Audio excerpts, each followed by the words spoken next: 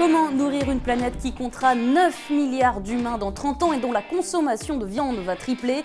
Industriels, agriculteurs et geeks s'y intéressent. Il y en a qui veulent repenser la viande. C'est le cas de l'américain Modern Mido qui travaille à l'élaboration d'une viande produite en imprimante 3D. Une sorte de chips de viande mélangée avec de la pectine, de la gélatine et des arômes puis cuite et déshydratée. La NASA s'intéresse aussi fortement au projet d'imprimer une pizza avec une imprimante 3D.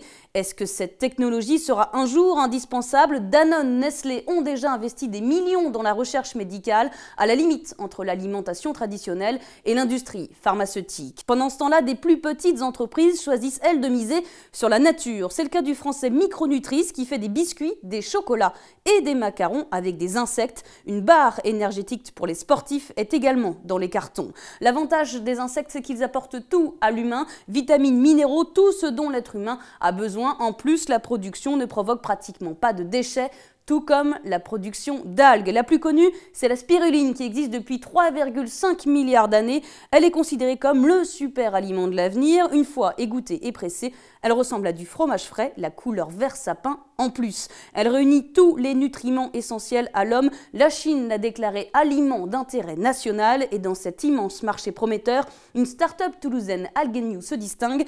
Elle est en phase de commercialiser un système de phytotière qui permet à tout à chacun de fabriquer ses propres algues.